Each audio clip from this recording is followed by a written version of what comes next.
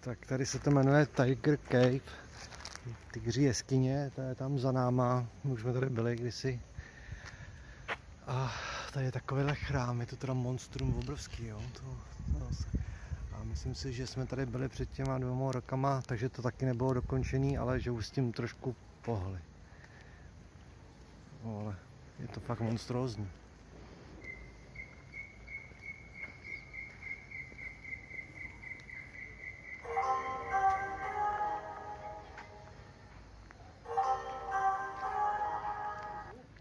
Zvláštní, že vždycky, když něco natáčím, tak mi přijde od někoho zpráva a zahraje to.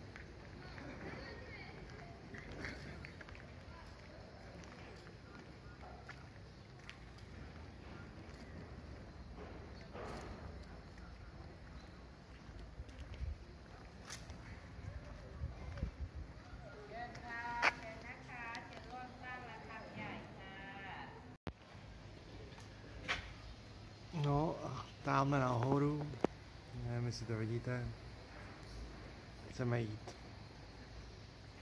Mně se teda moc nechce.